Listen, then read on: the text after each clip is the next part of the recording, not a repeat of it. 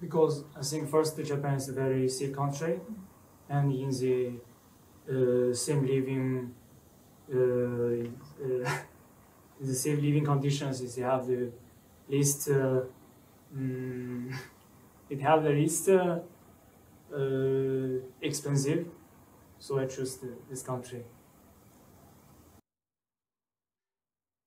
First, they have the measures I want to learn, and I know probably know this country, uh, this, no, this university, its level is uh, on my own, meet my own level. So, and this, uh, and I love, I love here the natural environment is very beautiful. So, I think you can learn the the unique insights of this of this country, and you also can meet uh, the uh, students come from the other other world, and uh, and all of this is safe and beautiful and mm, comfortable environment.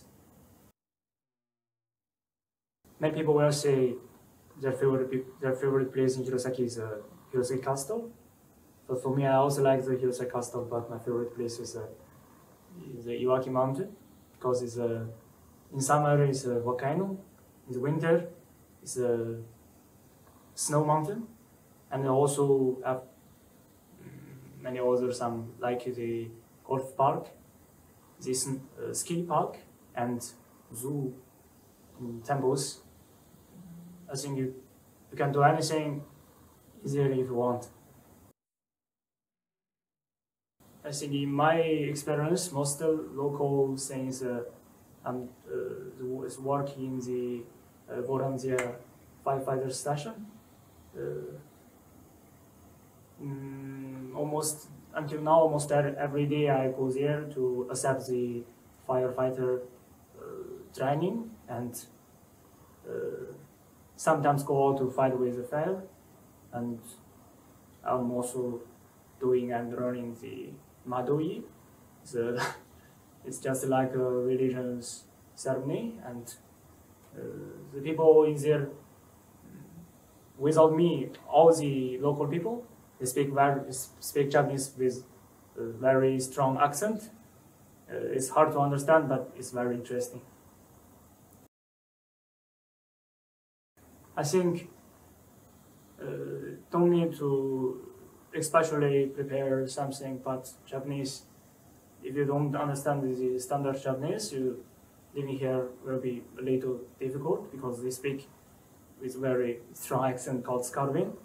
If you don't understand the uh, standard Japanese, you can't to understand the Scarvin at all. Don't worry, come come here with your peace of mind. Don't worry about anything. It's a very beautiful place and it's even better than you imagine. I was talking about the food. The if you can't cook food like me, I never cook food, but every day I uh, eat very well.